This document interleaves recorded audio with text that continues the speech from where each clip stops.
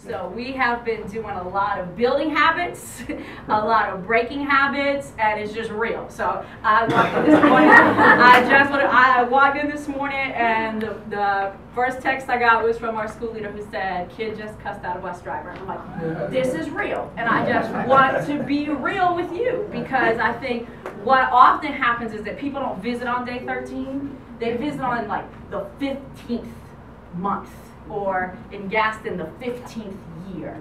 And too many times people leave thinking there's like a secret sauce. Well, it's just hard work.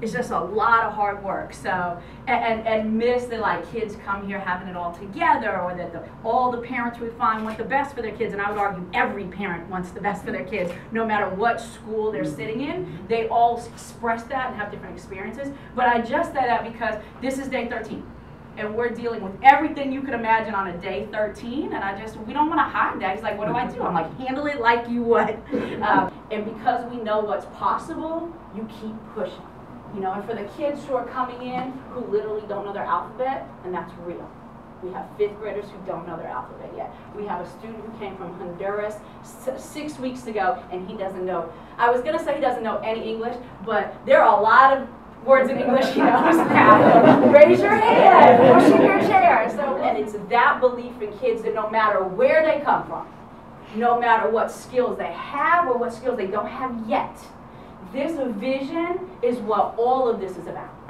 No matter whether they're throwing temper tantrums, they're running out of the building, whether they don't know their vows yet, no matter what, all 93 students in that room deserve our absolute best and a vision for them that we would have for our own kids and no limits to their expectations. And, and fundamentally, that's what I want you to get if you don't already about what makes this special.